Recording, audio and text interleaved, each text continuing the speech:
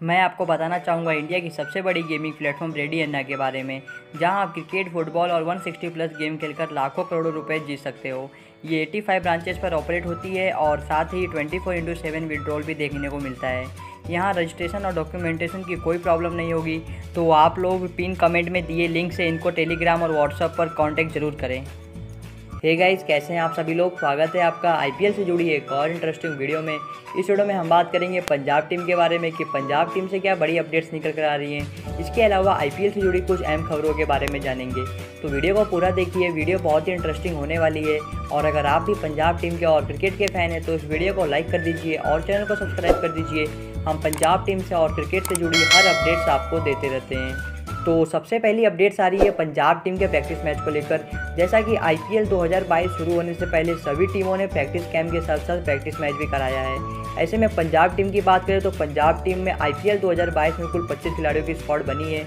ऐसे में इन 25 खिलाड़ियों को पंजाब टीम ने दो टीमों में बांट दिया और दो टीमों के बीच में एक मैच हुआ, इसको हम प्रैक्टिस मैच भी कह सकते हैं एक तरफ़ से। इसके अलावा आप सभी लोग बता दो प्रैक्टिस मैच में कई खिलाड़ियों ने अच्छा परफॉर्मेंस किया।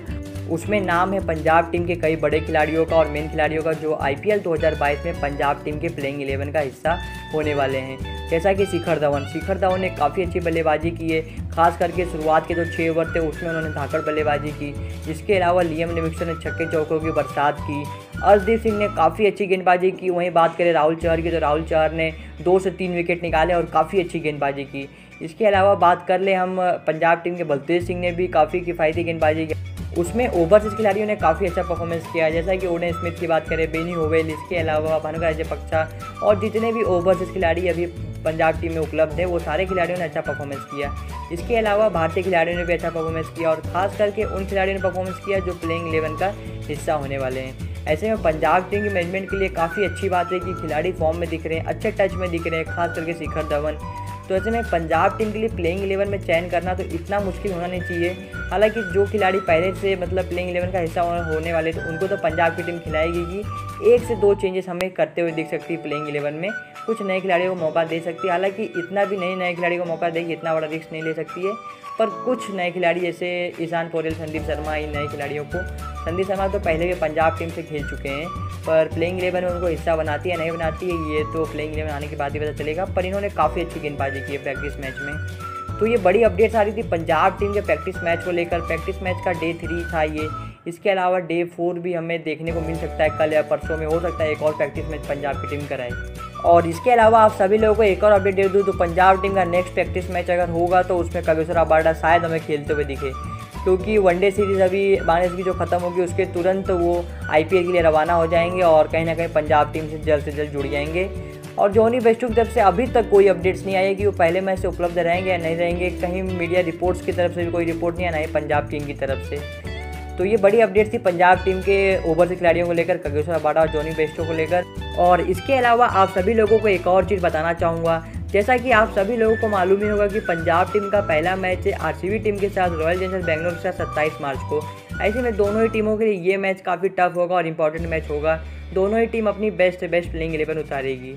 इसके अलावा आप सभी लोगों को एक और फैक्ट बता देता हूँ, जैसा कि अगर हम पंजाब और आरसीबी टीम की हेड टू हेड आईपीएल की बात करें तो आप सभी लोगों को बता दूँ, अभी तक आईपीएल में, यानी कि आईपीएल 2021 तक, अभी आईपीएल 2022 शुरू नहीं हुआ है। तो अभी तक पंजाब और आरसीबी के बीच में कुल 28 मैच हुए हैं। हेड टू हेड मुकाबले की बात करें तो कुल 28 मैच हुए हैं और उसमें पंजाब की टीम भारी पड़ी है।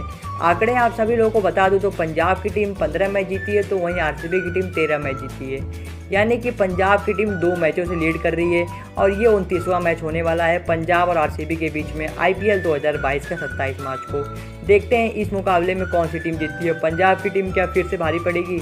और इसके अलावा पंजाब टीम के लास्ट मुकाबले की बात करें, जब आरसीबी टीम से भिड़ी थी तो आई पी में भिड़ी थी अड़तालीसवें मैच में और उसमें आरसीबी की टीम छः रन से मैच को जीत ली थी पहले बल्लेबाजी करते हुए। तो हो सकता है पंजाब की टीम इस साल थोड़ा पलटवार करे और पहले मैच में आरसीबी टीम को शिकस्त दे।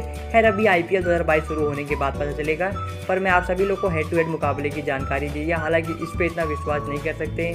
ये तो एक रिकॉर्ड है, फैक्ट है, पर यह भी जाना ज़रूरी है। और इसके अलावा एक और फैक्ट आप सभी लोगों को बताना चाहूँगा, जैसा कि अभी तक आईपीएल में किस टीम की तरफ़ से सबसे ज़्यादा सेंचुरी लगे हैं, शतक लगे हैं? उसमें सबसे पहला नाम है आरसीबी टीम का। आरसीबी टीम की तरफ़ से अभी तक चौदह शतक लगे हैं पूरे आईपीएल के इतिहास में। पर अभी तक आईपीएल की ट्रॉफी एक बार भी नहीं जीती आरसीबी टीम ने। वहीं पंजाब टीम की बात करें तो पंजाब की टीम दूसरे पे पंजाब टीम की तरफ़ से कुल तेरह शतक लगे हैं। उनके खिलाड़ियों ने आईपीएल के इतिहास में कुल तेरह शतक लगाए हैं, पंजाब टीम की तरफ़ से। ऐसे में पंजाब टीम ने भी अभी तक कोई भी ट्रॉफी नहीं जीती है आई की। मतलब कि इन दोनों ही टीमों ने अभी तक आईपीएल के इतिहास में एक भी ट्रॉफी नहीं जीती है और, आईपीएल 2022 में इन दोनों ही टीमों को अपनी पहली ट्रॉफी का इंतज़ार है और कहीं ना कहीं दोनों ही टीम फेवरेट मानी जा रही है आईपीएल 2022 में। तो आज की इस वीडियो को दोस्तों यहीं ख़त्म करते हैं। उम्मीद करता हूँ कि हमारी ये जानकारी आपको अच्छी लगी होगी। अगर अच्छी लगी तो वीडियो को एक लाइक कर दीजिए और कमेंट सेक्शन में अपनी राय बताना मत भूलिएगा। और अगर आप भी चैनल पर नए हो तो चैनल को सब्सक्राइब कर दीजिए। हम पंजाब टीम से और क्रिकेट से जुड़ी तमाम खबरें आप सभी लोगों को देते रहते हैं। मैं मिलता हूँ आपसे अगले वीडियो में। तब तक के लिए अपना ख्याल रखिए।